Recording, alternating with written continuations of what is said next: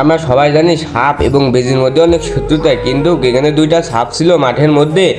মাঠের মধ্যে একটি বান্দর এসে একটি সাপের লেজে পা দিলে সাপটি বারবার সবল মারতে গেলে এই বান্দরটি ঠেকিয়ে দেয় এবং পরে সাপটি না পেরে নিচের দিকে পালিয়ে যায়। বন্ধুরা, ভিডিওটা ভালো লাগলে ভিডিওটা লাইক, কমেন্ট করবেন।